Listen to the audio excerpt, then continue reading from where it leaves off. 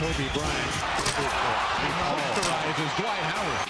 Nice fake by James. Oh, he's stuffed. The flash bombs go live. Poster time. Wow. Stop it. This is my poster machine. This is what I need my poster machine. MJ. Oh, he did it. Michael shakes the finger. He finally got his dunk on Mutombo. Hold on to your hats, folks.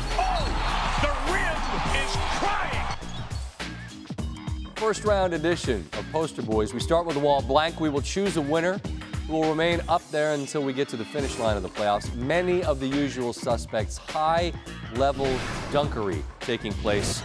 Remember this one? Off the miss, Anthony Davis goes up. Jusuf Nurkic on the wrong end of it. Jrue Holiday pointed at him and left. Oh, yikes. What are you going to do? Man has a, truly has a wingspan. Pelicans swept the Blazers. Four games to none. All right, the Wizards were dispatched, but John Wall, John Wall got Jonas Valanciunas, and then was livid. Lots of cussing about this is my town and I don't play that stuff. And he didn't say stuff. It was nasty. But the Wizards got knocked off in six. Yeah, see, I don't play that stuff. Oh, guess who's here? Giannis.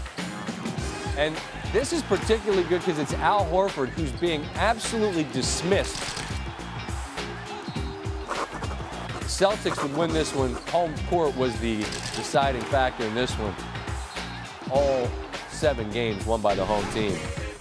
And then LeBron, Lance got bodied, and then Sabonis got bodied, and Miles Turner, Turner was smart enough to get out of the way. And that's uh, that's really a good one. But just for the poster, Steve. Just for the poster. Disagree. Okay. It's your show, so go ahead. Well, I mean, listen, we're, we we do have a we do have a democracy. It's just my vote counts for more. uh, yeah, we're gonna throw that one up because that's a better poster. That's all I'm saying. Not a better dunk, but a better poster. So that's what we're gonna go with for now.